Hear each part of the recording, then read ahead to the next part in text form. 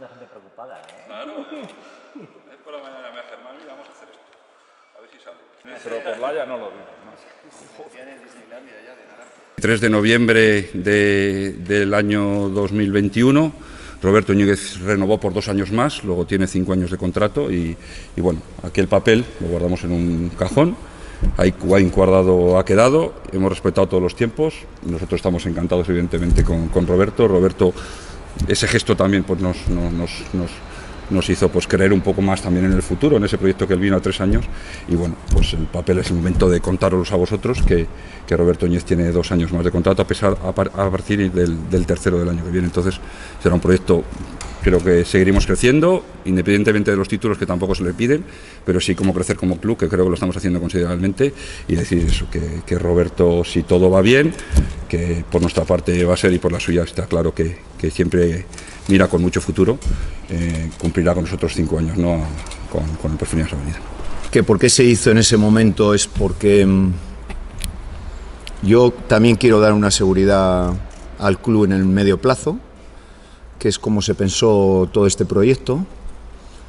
No solo tener un entrenador año a año, sino que haya un medio plazo, que podamos hablar de, ese medio plazo, de, de cultura, de, de proyecto, de trabajo, de cómo crecer, de cómo hacer las cosas. Pensaba que cuando acabase esta temporada eh, me iba a quedar solo un año y iba a empezar a aparecer tensión, eh, bueno, jugadoras que, que preguntan qué entrenador va a haber, qué entrenador no va a haber, y creo que todo eso iba a dar tranquilidad y en ese momento me adelanté y lo aporté como una idea, pero nada pensando egoístamente, sino pensando en el bien común, ¿no? En, lo mejor para el club y lo mejor para el entrenador. Y, y en ese momento a Jorge le pareció bien, bueno, tampoco se lo pensó y dijo, yo encantado. Porque era seguir con la misma idea de tener tres años por delante para trabajar y, y hacer las cosas con calma, porque creo que, bueno, tal y como están las cosas y tal y como vienen los equipos y creo que nuestra ventaja tiene que ser seguir haciendo las cosas bien, mejor que los demás, adelantándonos a los demás y creo que es un movimiento más, ¿no? Sé que algunos estarán decepcionados porque seguramente esperaban otra cosa. Sé que algunos pensarán, ¿y estos firman un contrato en noviembre y no dicen nada hasta final de temporada? Pues sí, porque el protagonismo es para las jugadoras y nunca para el entrenador y yo me he querido centrar en, en lo mío y hoy estamos aquí porque me lo ha pedido Jorge, porque yo ni hubiese dicho nada. Y, y poco más que decir, simplemente que han llegado cosas, eh, ofertas, y no lo digo en el aspecto de chulería, todo lo contrario, y que lo que quiero que sepáis que estoy aquí porque me siento querido y estoy bien y, y creo que es el sitio en el que debo estar. Ni me veo en Turquía ni me veo en, en ningún lado. Aunque lo que llega económicamente pues son cosas que evidentemente mi agente me dice que como mínimo que le escuche. ¿no? Yo escucho, respeto y, y sigo lo mío. Y llegó una cosa muy importante, y Jorge lo sabe, de una federación que creo que es ahora el caramelito que todos querrían tener,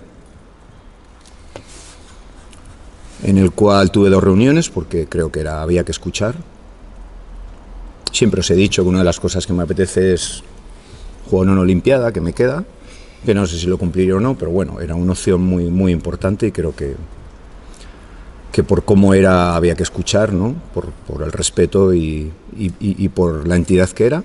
Pero me pidieron al final en las últimas reuniones compatibilizar Avenida con, con esa federación y yo les comenté que mi idea era muy clara. Creo que un seleccionador nacional tiene que tener exclusividad para hacer las cosas bien. Y más si vas al extranjero.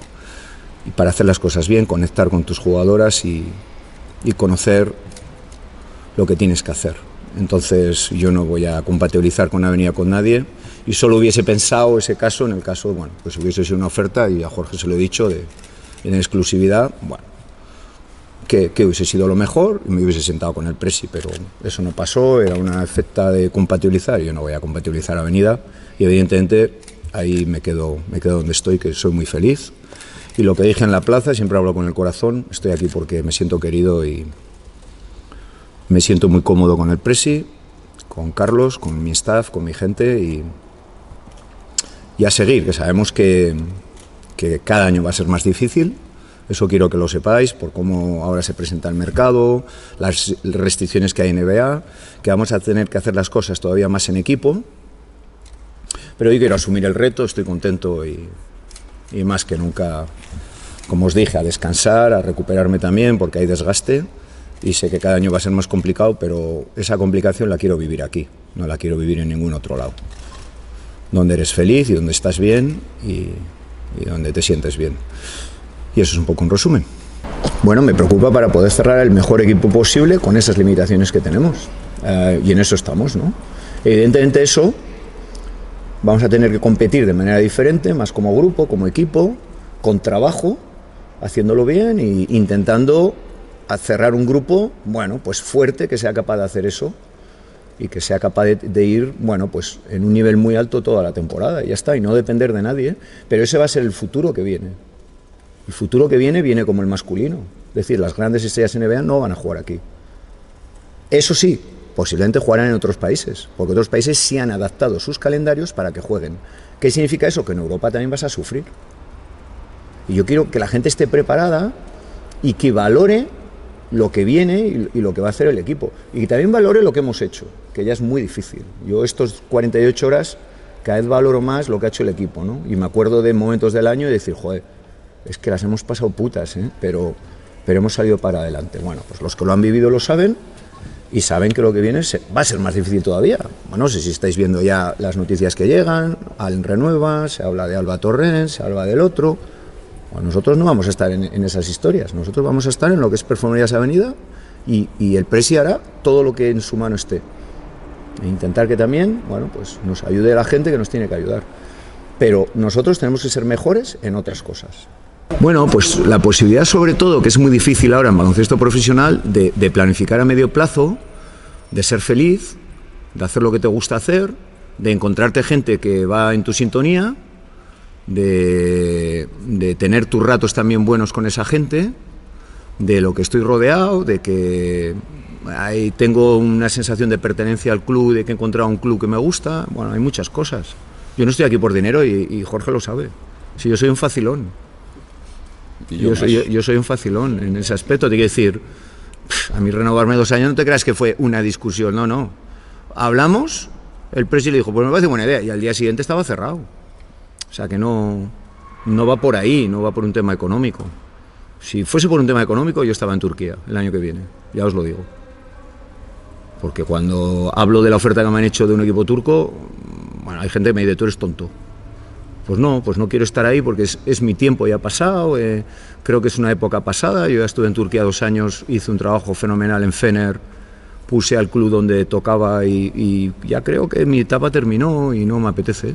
Me apetece estar también cerca de mi familia, mi madre tiene ochenta y pico años, mi hijo acaba de cumplir 28, el, tener esa posibilidad de coger un coche y irme a Vitoria para mí es muy importante en este momento de mi vida y bueno, pues hay cosas que valoro muy por encima de tener mucho más dinero que no me cambia la vida. A mí no me la va a cambiar.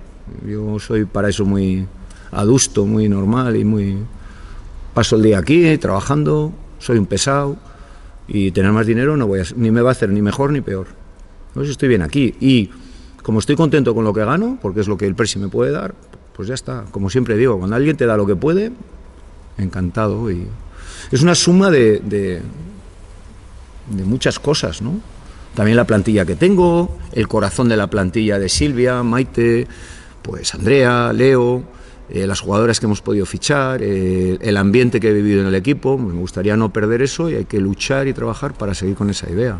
El trato vuestro, el otro día en la plaza la gente que te expresa el cariño, pues lo decía Germán, me encontré un médico de 80 y largos años, casi 90, que me dijo que tenía cáncer de... Esto, bueno, no sé, igual es un secreto, no debo contar, que tenía cáncer de próstata y que había tirado la toalla, que pensaba que se moría. Y dice, los dos últimos años he renacido. Y me decía, he renacido por ti, porque me descojono, me das alegría, porque me gusta ver tus previas, tus resúmenes, tus partidos, veo los partidos tres veces, te miro y soy feliz. Y digo, pues mire, eh, solo por eso eh, no tengo otro motivo ya más para, por favor, cada vez que haya una, esto de equipo, venga, salúdeme porque, porque ya está, porque eso son las cosas que ahora me dan cosas en la vida y las valoro mucho.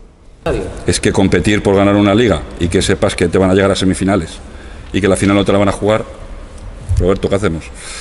Yo creo que. Liga, sobre todo, digo, que termina un poco antes. Ya, pero fichar una jugadora no tenemos la capacidad económica para fichar jugadoras. O sea, hay equipos rusos o turcos que tienen en plantilla 14, 15 jugadoras y pueden jugar con eso. Nosotros no lo podemos hacer.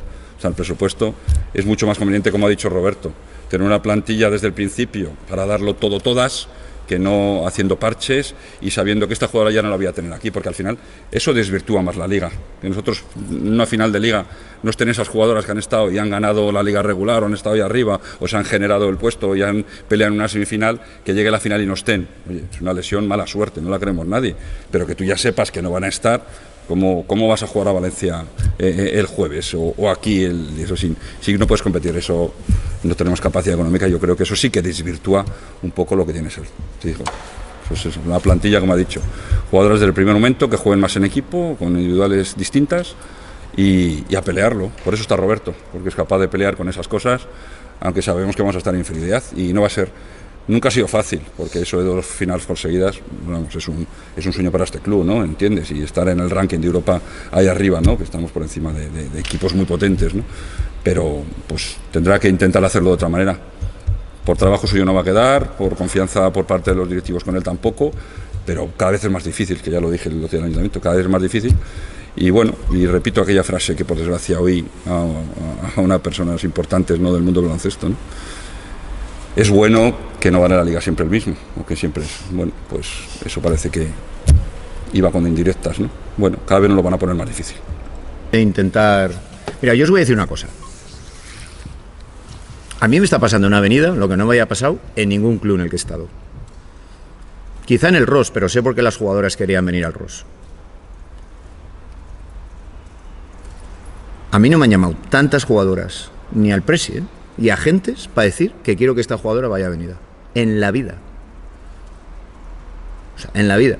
Es, después de Final Four fue una avalancha de jugadores que querían venir al club. Una locura. Pero te hablo de nombres, de jugadoras que han fichado en Fenerbahce o estar en Francia, o, y no quiero decir nombres porque no quiero descubrir no. ni agentes ni jugadoras. Y no va a venir ninguna. Porque es que te llaman, quiero jugar ahí, quiero jugar en ese equipo, me gusta cómo juega ese equipo, me gusta ese entrenador yo quiero vivir aquello, yo, yo estoy hasta las narices de mi club, de no sé qué. Y cuando dices, bueno, pero aquí es que aquí pagamos esto. Y no se lo creen. Dicen, ¿cómo?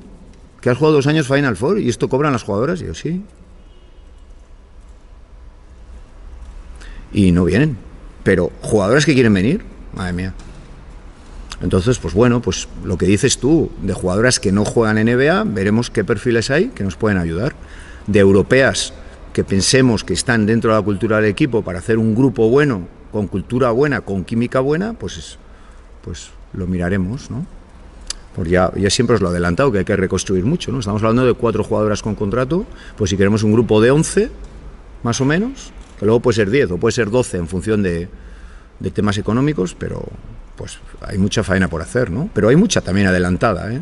O sea, nosotros llevamos desde diciembre, ¿eh? Y parte del desgaste mío también es pensar en el futuro, no solo el día a día. Yo me desgasto mucho también porque veo mucho baloncesto, veo muchas jugadoras, pregunto, y aquí no viene una sola jugadora que no sepa todo de ella. Todo. Entonces, bueno, eso es un desgaste también, es decir, aquí no se ficha por estadísticas o por... Porque lo que queremos hacer es un grupo, química, pues eso es fácil decirlo, pero lo difícil es hacerlo. Con poca gente y, y trabajando entre todos. Bueno, pues en eso estamos.